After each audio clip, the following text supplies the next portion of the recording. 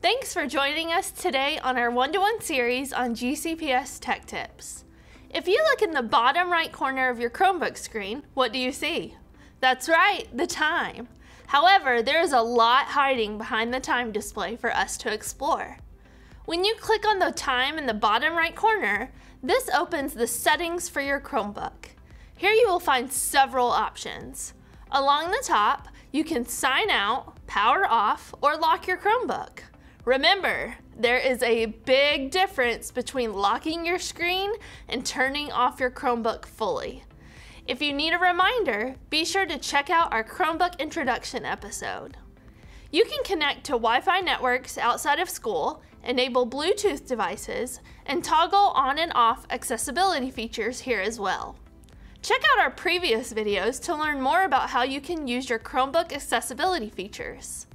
For notifications, you can toggle them on and off by clicking the icon, or you can customize by clicking the drop-down arrow. Screen captures can be started here, along with dimming your screen by turning on the nightlight to ease the strain on your eyes. Volume and brightness can be controlled with the keys along the top row of your Chromebook keyboard, or here at the bottom of your settings tray.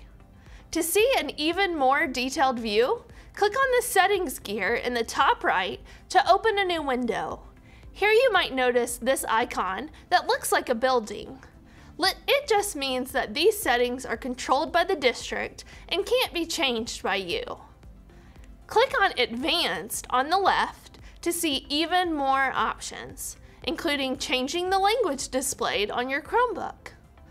Customizing your settings can make using your Chromebook for school even easier.